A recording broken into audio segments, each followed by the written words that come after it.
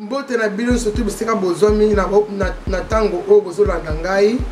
lelo nakolambela bino ngombe na basi nde balambaka ngombe ngombe oyo nakotia solo oyo eza solo na biso ya kini nakotia seleri nakotia ndembi oyo eza tangawis na ai oyo eza litungulu oyo eza poussière na ngai nayebisaka bino wana ya jaune oyo eza mosaka na kotya yango katikati mosaka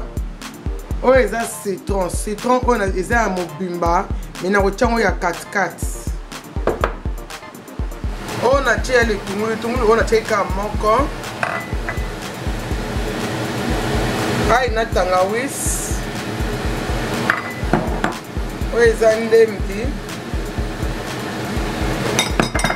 oyo eza seleri na ngai na tie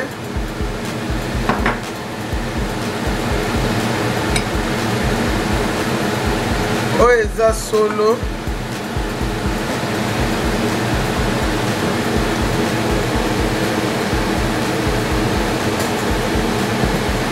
oyo nazotyela citron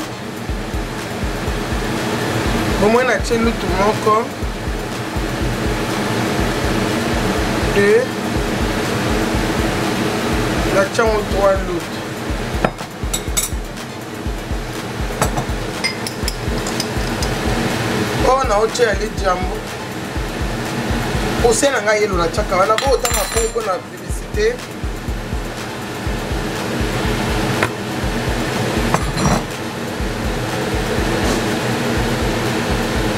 sikoyo nakangi yango na mpe biloko mbele mei te ekosala natya yango mai te nao tozonga kaka mai nango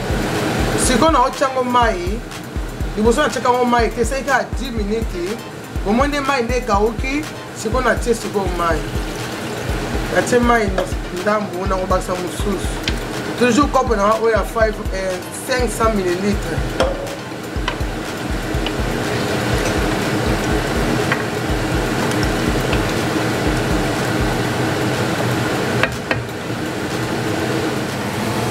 bomoni mai ekauki donc eseli kaka 35 minutes sikoyo naotya sikoyo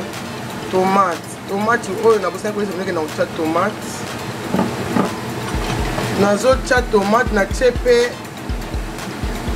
mosaka na nga nakotya ngo nyonso nakotya ngo na katikati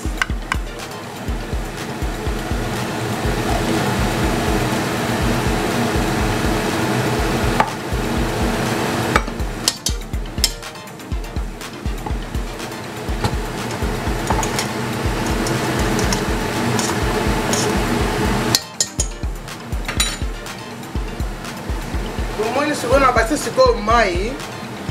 donc oyo eza lisusu 500 millilitre donc nyonso to epesi 1000 millilitre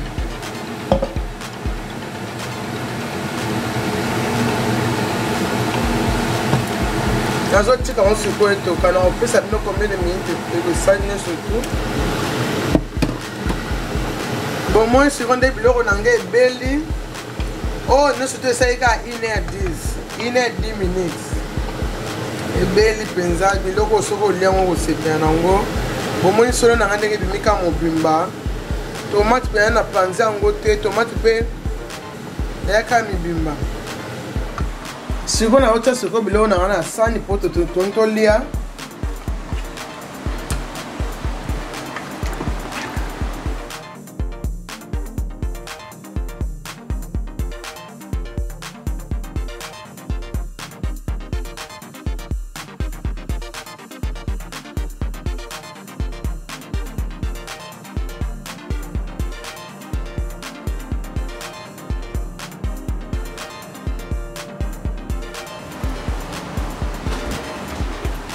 sikoyo bomoi